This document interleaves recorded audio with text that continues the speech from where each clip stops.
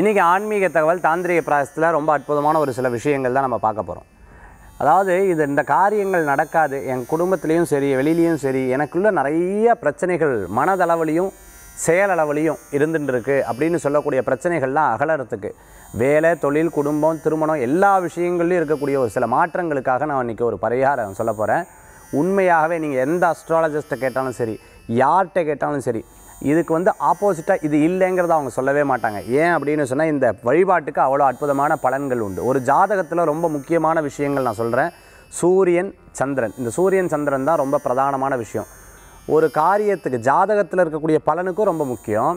அடுத்தது பார்த்துட்டீங்க அப்படின்னு சொன்னால் கோச்சார ரீதியாக இப்போ நடக்குமா நடக்காதான்னு சொல்கிறதுக்கும் சூரியன் சந்திரனை வைத்து தான் ஒரு பலனை நிர்ணயிக்க முடியும். இது எல்லா அஸ்ட்ராலஜர்ஸ்க்கும் அதாவது உலகத்தில் இருக்கிற அத்தனை அஸ்ட்ராலஜர்ஸுக்கும் இது தெரிஞ்ச விஷயங்கள் தான். அப்படி இருக்கக்கூடிய சூரியன் சந்திரனை பற்றி ஒரு விஷயத்தை உங்களுக்கு நான் சொல்லித்தரேன். நிறையா பேர் காத்தால் சூரிய நமஸ்காரம் பண்ணாதவா எத்தனையோ பேர் இருந்துட்டுருப்பா.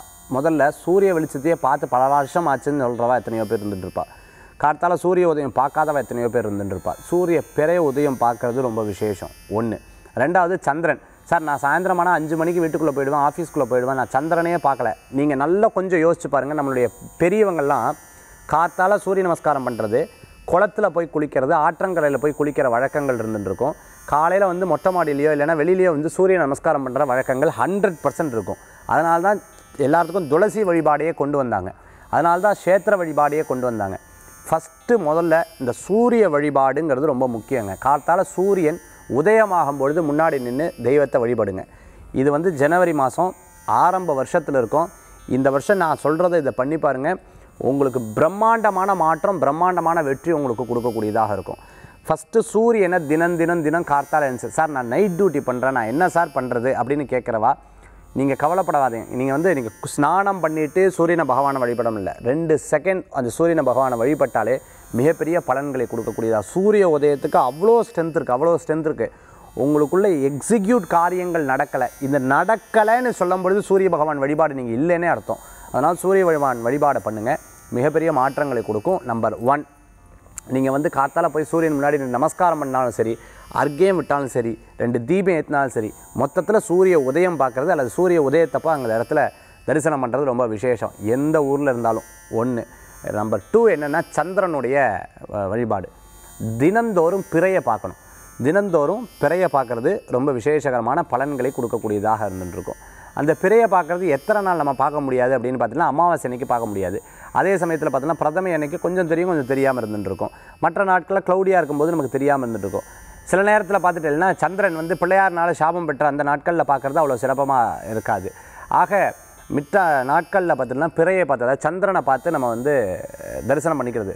ஒரு மனிதனுக்கு வந்து மன சம்பந்தமான கோளாறு யோசனை சம்மந்தமாக நிறைய சிந்தனை சம்மந்தமாக இருந்துட்டு இருக்கும்போது இந்த சந்திரன்லேருந்து தான் அந்த விஷயங்கள் நமக்கு வர்றது. அதனால் சந்திரன் உங்களுக்கு நன்னா இருந்தது சந்திரனுடைய தரிசனம் உங்களுக்கு கிடச்சிது சந்திரனுடைய அனுகிரகம் கிடச்சிது அப்படின்னு சொன்னால் நிச்சயமாக இது மாற்றங்கள்.